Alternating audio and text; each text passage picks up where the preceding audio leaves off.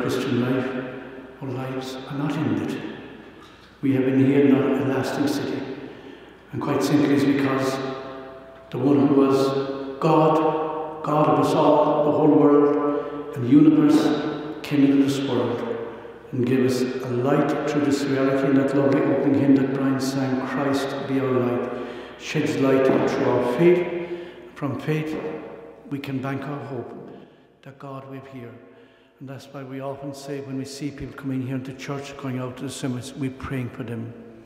We, and this, we're continuing the great act of intercession in praying for them if they've not reached the fullness, as I say, of, of peace with God in the kingdom of heaven. So that's uh, why we pray. So we gather to pray for the soul of John.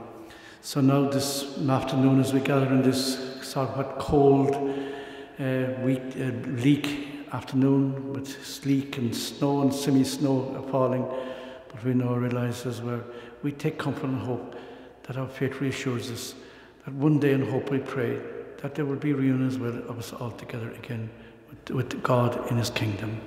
So now we begin to realize eh, always that our journey is still incomplete, for our imperfections, our weaknesses, and our sins, we call our sins to mind.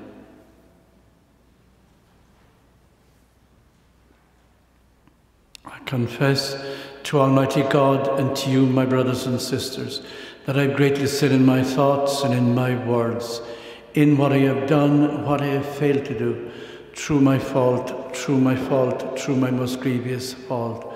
And therefore I ask the Blessed Mary, ever Virgin, all the angels and saints, and you, my brothers and sisters, to pray for me to the Lord, O God.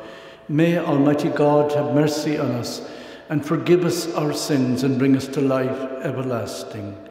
Lord, have mercy. Christ, have mercy. Lord, have mercy. Let us pray.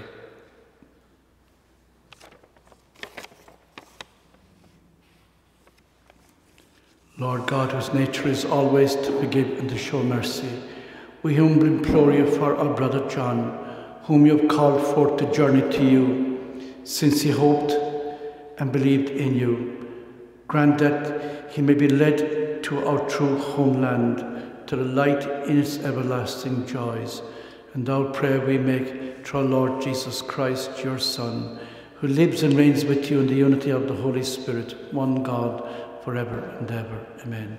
So, Martin, and now you've been entrusted with the first the readings, so please come forward. I hope you're able to hear us outside there in the car park via the speakers. I hope you're uh, the car you're comfortable enough in the cars. It's not a very nice day to be inside, but I hope your heater's on in the car.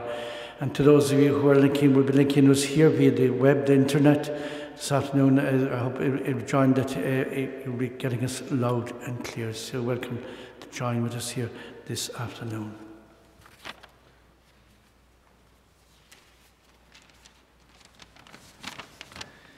A reading from the Book of Wisdom.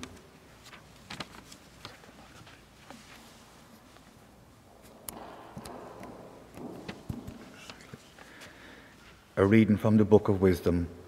The virtuous man, though he die before his time, will find rest. Length of days is not what makes age honourable, nor number of years the true measure of life. Understanding this is man's grey hairs, untarnished life, this is ripe old age. He has sought to please God, so God has loved him. As he was living among sinners, he has been taken up. Coming to perfection in so short a while, he achieved long life.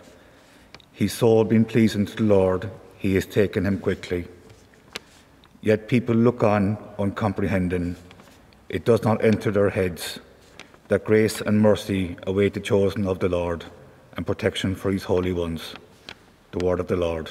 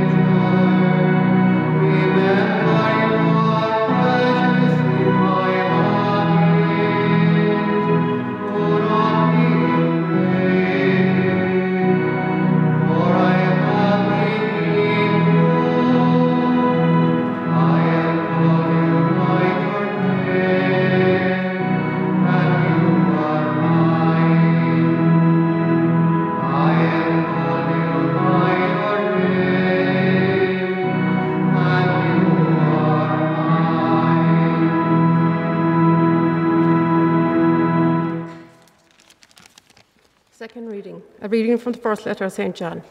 Think of the love that the Father has lavished on us by letting us be called God's children, and that is what we are. My dear people, we are already the children of God, but what we are to be in the future has not yet been revealed. All we know is that when it is revealed, we shall be like him, because we shall see him as he really is. The word of the Lord.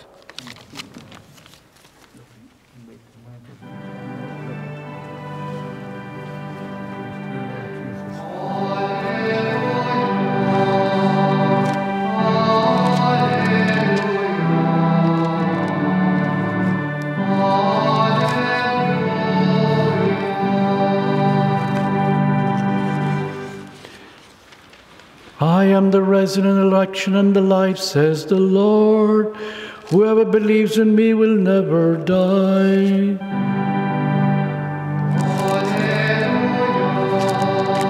Hallelujah. Hallelujah.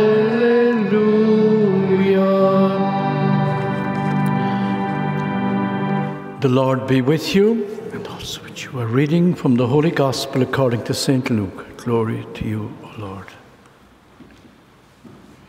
On the first day of the week, two of the disciples were on their way to a village called Emmaus, seven miles from Jerusalem.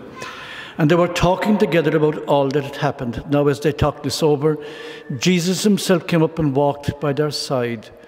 But something prevented them from recognizing him. When they were near the village to which they were going, he made as if to go on, but they pressed him to stay with them. It is nearly evening, they said, and the day is almost over. So he went in to stay with them, and while they were with him at table, he took the bread and said a blessing. And then he broke it and handed it to them. And their eyes were opened until they recognized him, but he had vanished from their sight. And then the two said to each other, Did not our hearts burn within us as he talked to us on the road and explained the scriptures to us? They set out that instant and returned to Jerusalem. There they found the eleven assembled together with their companions, who said to them, Yes, it is true. The Lord has risen and has appeared to Simon. And then they tell, told their story of what had happened on the road and how they had recognized him at the breaking of bread. The gospel of the Lord.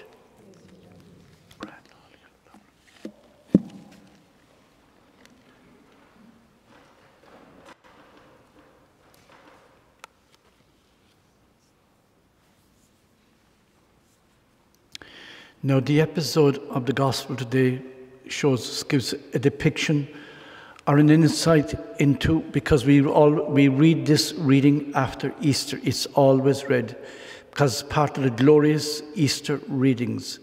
And it gives it an insight into what the two of the disciples, they were not apostles, because the eleven were assembled elsewhere in Jerusalem together. And they were gathered together in fear they were very much afraid of what was going to happen to them because they were afraid they were going to be persecuted or crucified. It is the lot of a lot of Christians today in the world.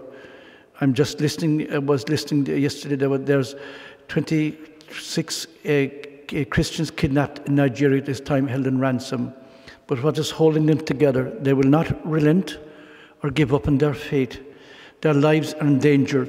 This, what I call fundamentalist uh, group, a, a, breakaway sect, uh, or, or a, breakaway sect, have them held up uh, to ransom. So the, it is the same old story repeated over again. Back in Jerusalem, they were, as it were, afraid that once again that there were going to be, as it were, revenge would be taken them because Christ, which whom they thought was buried in the tomb, they was going to say, curtains were sealed. No, a new reality, a new way of order, a new way of life was beginning. They were experiencing the risen Lord. The stone had been moved away from the tomb. The Mary and Magdalene and several went to the tomb. They found the glorious risen Lord. And what does the Lord convey to us? That within us, says St. Paul, is contained within our bodies the seeds of imperishability.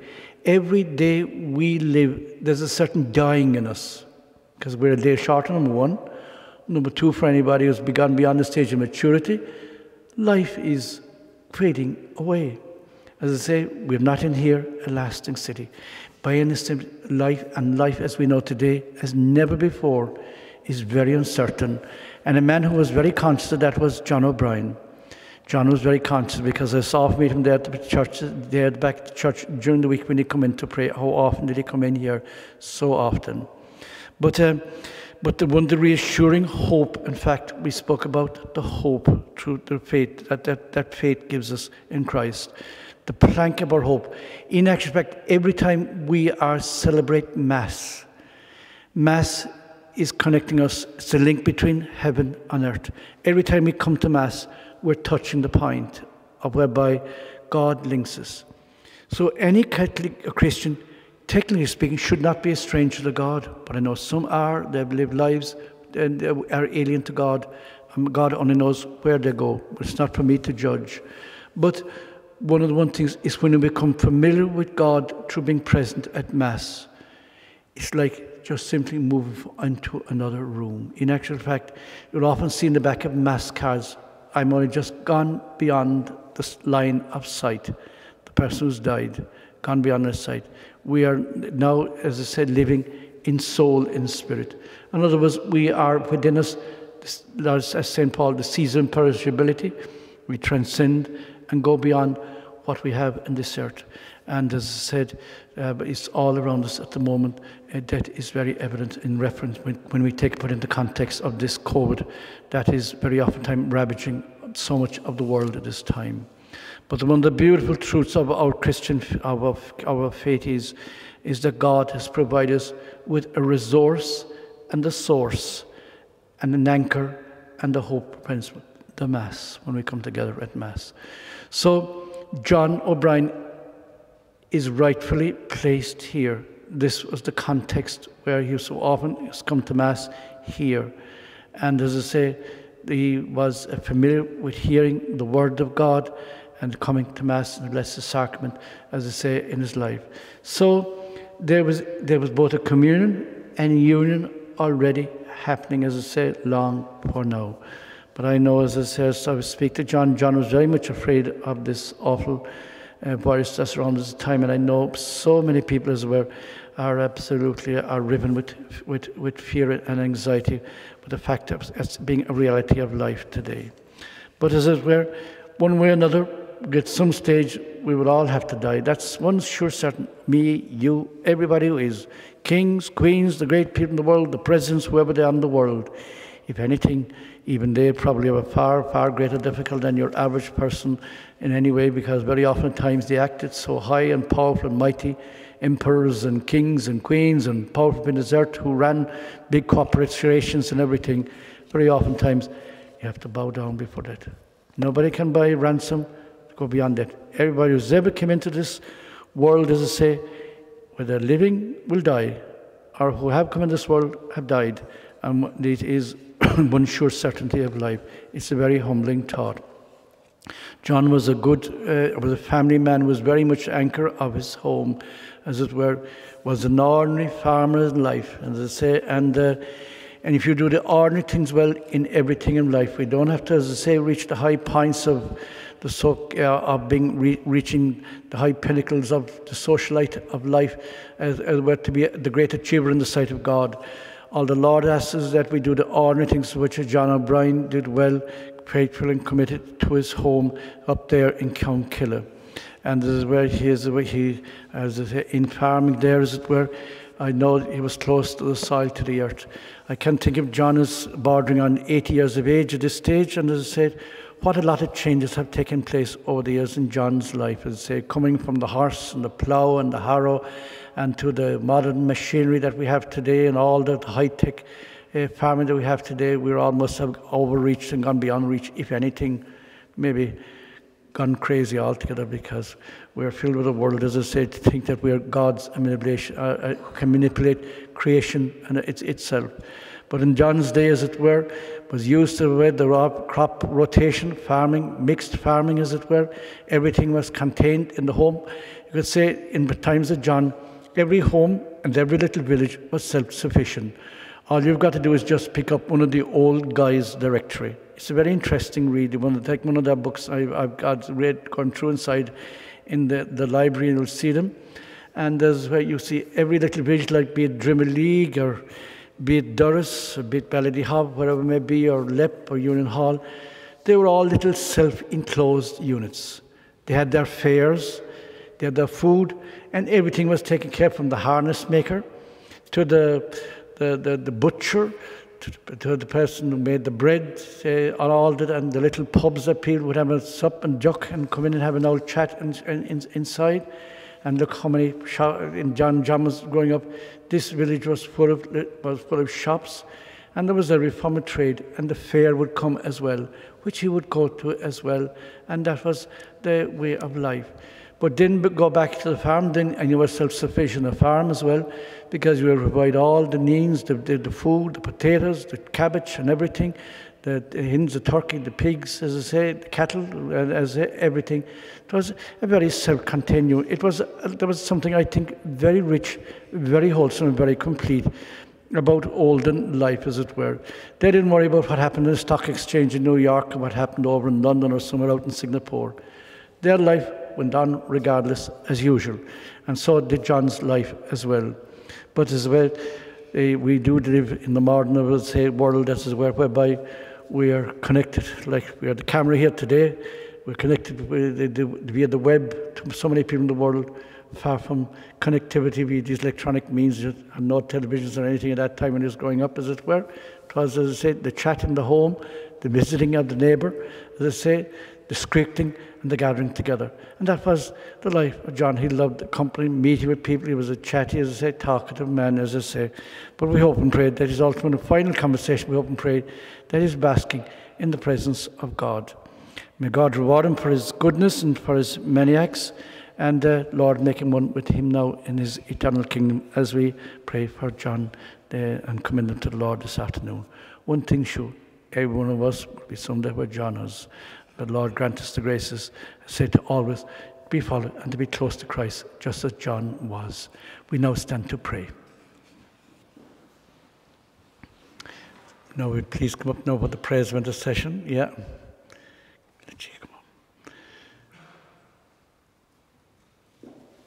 Seek, search, and you shall receive.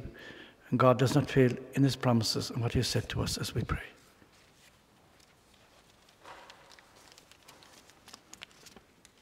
For John, that God may ease his passing into new life. Lord, hear us.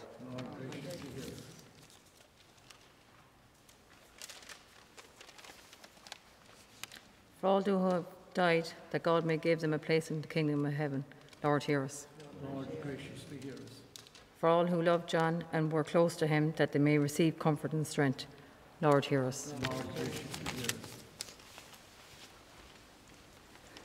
For the doctors and nurses and staff of Cork University Hospital and Bantry General Hospital, that God may reward them for their goodness. Lord, hear us.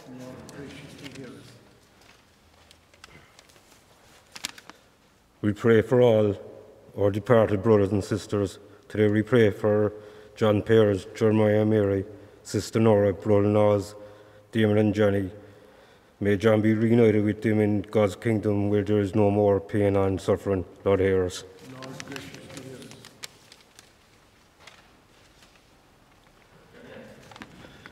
For John, who ate the body of Christ, the bread of life, that he may raised up on the last day.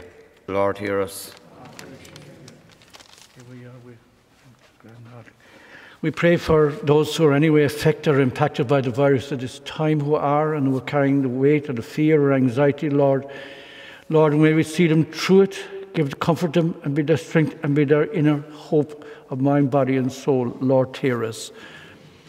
The brave, valiant and courageous people who are at the very interface of it, such as our doctors, our nurses, our attendants, our home helps, our public health nurses, uh, or, in any way who are involved in providing meals and feeds are, in, are very much in the danger zones. Lord, in their effort to work on our behalf, Lord, keep them safe and protect them, guard them, O oh Lord, against this contagion. Lord, hear us. We pray as well for those who are frail elderly vulnerable in any way, especially those as it were who maybe carry with any anxiety or fear. I know John had a fear of this reality. But Lord, we pray as well for any of those who have exhibited, and so many have at this time. Lord, be with their refuge and the strength and the helper close at hand. Lord, hear us. Saving Lord Jesus Christ, these are our prayers, Lord. We commend them and offer them up as we channel them all to, through you, Jesus Christ, our Lord. Amen.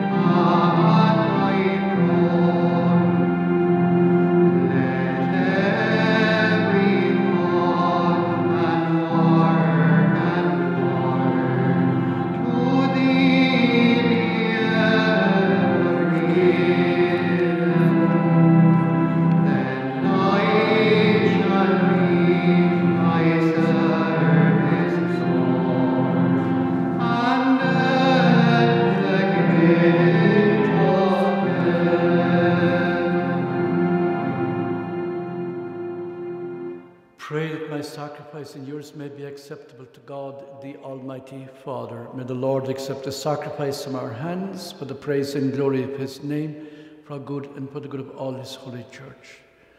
Lord God, as we humbly present to you these sacrificial offerings for the soul of brother John, we beseech your mercy that he who did not doubt your Son to be a loving Saviour may find him a merciful judge through Christ our Lord.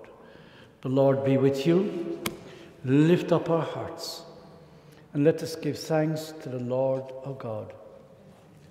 For it is truly right and just, our duty and our salvation, always and everywhere, to give you thanks, Lord, Holy Father, Almighty and eternal God.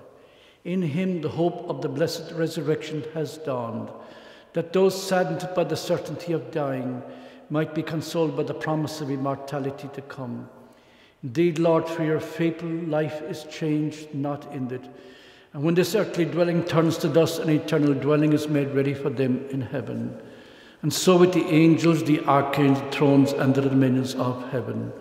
May our voices be one with theirs as we proclaim, Holy, holy, holy Lord, God of hosts. Heaven and earth are full of your glory. Hosanna in the highest. And blessed is he who comes in the name of the Lord. Hosanna in the highest.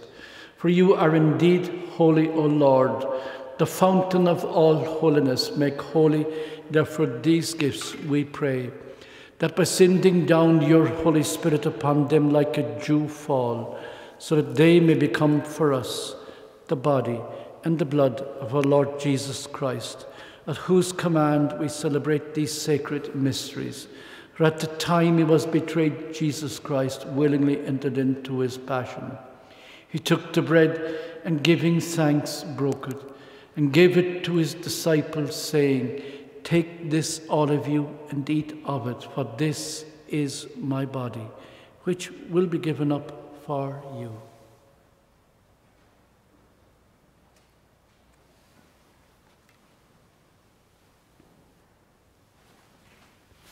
In a similar way, when supper was ended, Jesus took the chalice, and once more giving thanks, he gave it to his disciples, saying, Take this, all of you, and drink from it. For this is the chalice of my blood, the blood of the new and eternal covenant, which will be poured out for you and for many, for the forgiveness of sins. Do this in memory of me.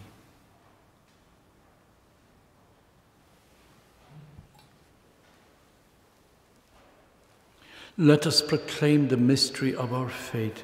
Christ has died, Christ has risen, Christ will come again. Therefore, as we celebrate the memorial of his death and resurrection, we offer you, Lord, the bread of life and the chalice of salvation, giving thanks that you have held us worthy to be in your presence and minister to you. Humbly we pray that partaking of the body and the blood of Christ, we may be gathered into one by the Holy Spirit. Remember, Lord, your church spread throughout the whole world and bring her to the fullness of charity together with Francis our Pope, Fintan our Bishop, the clergy, the religious, and the people of God. Remember our brother John, whom you have called from this world to yourself. Grant Granted as he was united with your Son in a death like his, may also be one with him in his resurrection through Christ our Lord. Remember also our brothers and sisters who have fallen asleep in the hope of the resurrection and all who have died in your mercy. Welcome them, Lord, into the light of your face. Have mercy on us all, we pray, that with the Blessed Virgin Mary, the Mother of God, Saint Joseph, her husband and spouse, the blessed apostles, the martyrs, Saint Gobinet, and all the saints who have pleased and done your will throughout the ages, we may merit to be co heirs to eternal life and may praise and glorify you through your Son, Jesus Christ our Lord. Through him and with him and in him, O God, Almighty Father, in the unity of the Holy Spirit, all glory and honour is yours forever and ever. Amen. God, Lord Jesus, has called, taught us to pray, so we now stand as we reach out to our Heavenly Father because we've been baptized to call this great prayer as we seek God's kingdom every day in our lives and say, Our Father, Gim Shim Inish.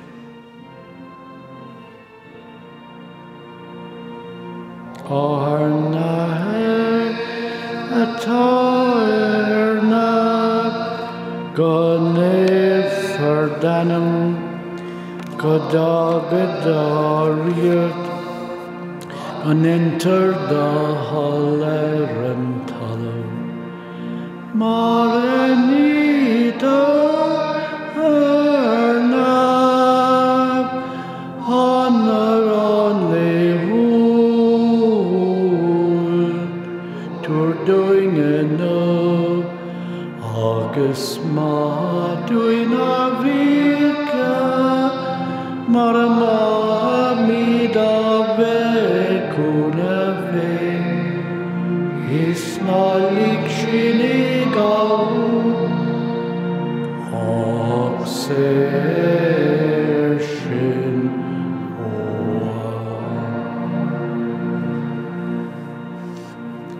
Deliver us, Lord, we pray, from every evil and graciously grant peace in our days, that by the help of your mercy we may always be free from sin and safe from all distress as we await the blessed hope and the coming of our Saviour, Jesus Christ. For the kingdom, the power, and the glory are yours now and forever. Lord Jesus Christ, who said to your apostles, Peace I leave you. My peace I give you, look not on our sins, but on the faith of your church, and graciously grant her peace and unity in accordance with your will, who lives and reigns forever and ever. Amen. The peace of the Lord be with you always. Lamb of God, the sins of the world, have mercy on us. Lamb of God, you take away the sins of the world, have mercy on us. Lamb of God, you take away the sins of the world, grant us peace, and may this mingling of the body and the blood of the Lord Jesus bring us to eternal life. Let us receive it. Behold the Lamb of God. Behold him who takes away the sins of the world. And blessed are those who are called to the supper of the Lamb. Lord, I am not worthy that you should enter under my roof, but only say the word, and my soul shall be healed.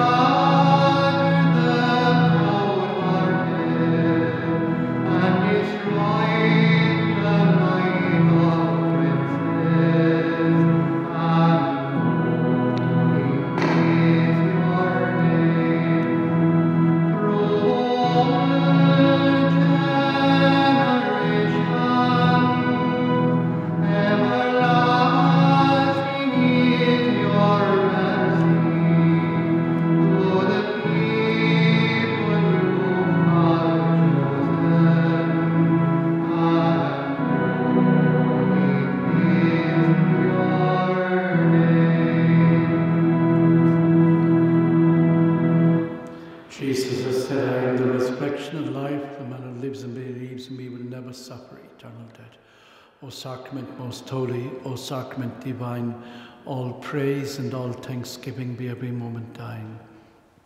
I am the way, the truth, and the life, says the Lord. No one can come to Father except through me. O sacrament most holy, O sacrament divine, all praise and all thanksgiving be every moment thine. Let perpetual light shine upon him with your saints forever. For you are merciful, O Lord, eternal rest grant him. O Lord, let perpetual light shine upon him.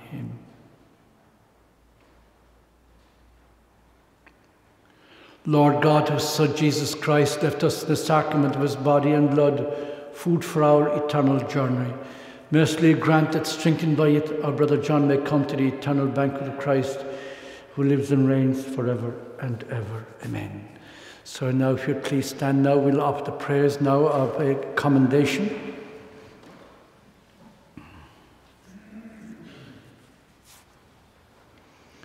Trusting in the Lord, we have gathered here and prayed for John. And now we come to that last farewell. For there is sadness in parting, but we take comfort in the hope that one day we shall see John again and enjoy his friendship, although we will depart and disperse as a congregation. Sorrow, the mercy of God will gather us together again in the joys of his kingdom. For therefore, let us console and comfort one another in faith.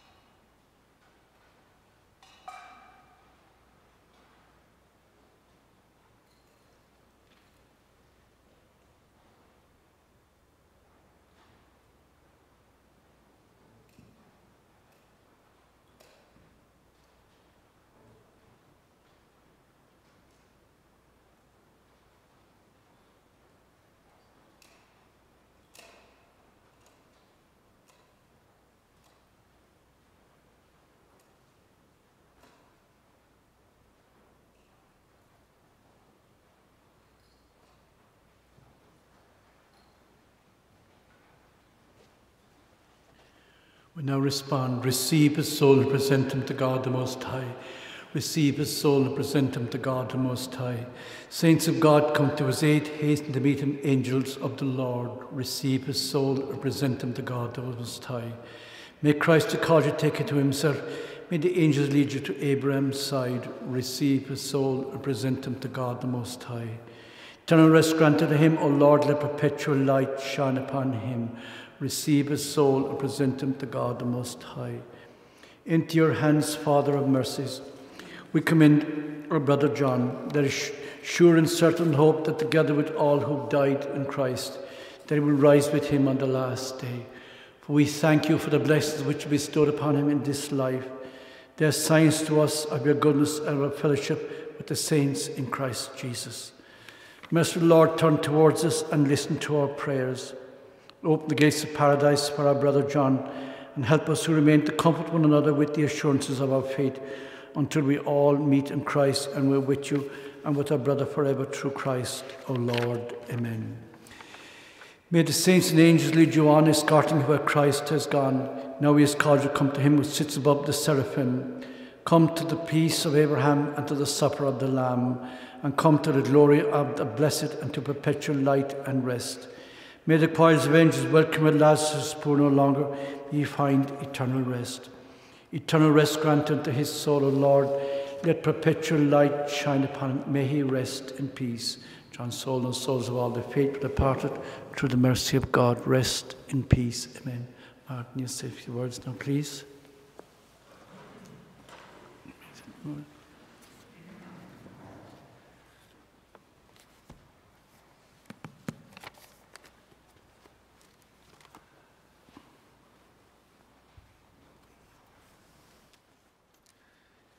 Hello, everyone. I was kindly nominated by my lovely family to give Dad's eulogy. I want to start off by thanking all of you who have been here today to celebrate Dad's life and to pay your respects. We are living in strange times at the moment with so many restrictions in place, and we know that there are many people who would be here today if they could be. Thank you to Father Liam Crowley for the wonderful service you have given today. Thank you to Pat and David Daly for all your help you have given us in organising Dad's funeral over the past few days. Thank you both for the professional and caring service you provided. It's very much appreciated. Uh, thank you to Pat and Padraig Crowley, who had a hard few days in preparing Dad's grave. Um, a lot of rock had to be removed, which made our job a lot tougher. Uh, thank you to Brian and the organist for the beautiful music and singing today. And thank you to James, who is recording Dad's funeral Mass today. So those who can't be here with us today will have the chance to watch the Mass online. Dad grew up on the family farm in Counkilla. Uh, he was the youngest of three children. He had two older sisters, Nora, may she rest in peace, and Peggy, who loved him dearly, and they were the best of friends. Dad met Mam and they were married on the 3rd of November 1973. They reared eight of us on the family farm. Dad loved the farming life and worked hard on the farm. Dad also used to grow his own crop of potatoes and vegetables. We have many memories of helping Dad with the potato crop and especially eating them. Dad also spent many years going to the bog in Goulans, cutting turf and we spent many a day in the bog helping out, against our will at most times. Dad's main pastime in life was road bowling. He was a great supporter and follower of the O'Driscoll family, Seahans. He was the best of friends with Tyg O'Driscoll, may he rest in peace, and they travelled to many a score together. Dad would always travel to support Teddy, Dennis, and Sharon whenever they were bowling. There was many a pint shared afterwards together, and the odd sing-song held after a day spent bowling, win or lose. Dad cherished, his, uh, cherished and loved his four grandchildren, Quiva, Rachel, Charlie and Harry. He always looked forward to when they would visit and stay over. He really enjoyed their company and the joy they would bring to the house. The stations in Counkilla and Gortinaher townland were always a special occasion that Dad used to enjoy attending. All the neighbours would gather together and share stories of past times. This is the one thing that we as a family have missed over the last few days, not being able to meet up properly with our neighbours, relatives and friends, as I'm sure there are plenty of stories that would have been shared about Dad growing up. We as a family are very grateful and thankful to all our wonderful neighbours, relatives, and friends who have been very good to Mam and us over the past few days. Thank you to everyone who has been very thoughtful and generous to us and provided us with food and drinks, but most importantly, thank you for all your kind words and condolences. Thank you to everyone who has phoned, sent messages, flowers, and most importantly, offered your condolences on Dad's passing. Dad lived a healthy and happy life up until a few years ago when he became ill. He fought hard and stayed strong to stay with us up until the very end. Unfortunately, Dad's fight for life ended last Monday when he passed away peacefully. We, as a family, want to say a huge thank you to the wonderful and caring staff of both Bantry General Hospital and Cork University Hospital who looked after and cared for Dad over the past number of weeks. They do an amazing job, and especially in these current difficult times. Finally, I would like to finish up with a reading that my sister Catherine has asked us to read on her behalf, as unfortunately, due to the travel restrictions, Catherine and her husband Nigel cannot be here today from the UK to celebrate Dad's funeral mass. Until we meet again, Dad. A light from our lives has gone, a voice we loved is still. A place is vacant within our hearts, which never can be filled. A bouquet of beautiful memories sprayed with a million tears. I wish God could have spared you, if just for a few more years. We hold you close within our hearts, and there you will remain to walk with us throughout our lives until we meet again. So rest in peace, dear Dad, and thanks for all you've done. We pray that God has given you the crown you've truly won. Your vacant place no one can fill. We miss you now and always will. Love, Catherine and Nigel. And I'll give the last few words to Dad. I know, I know, I know.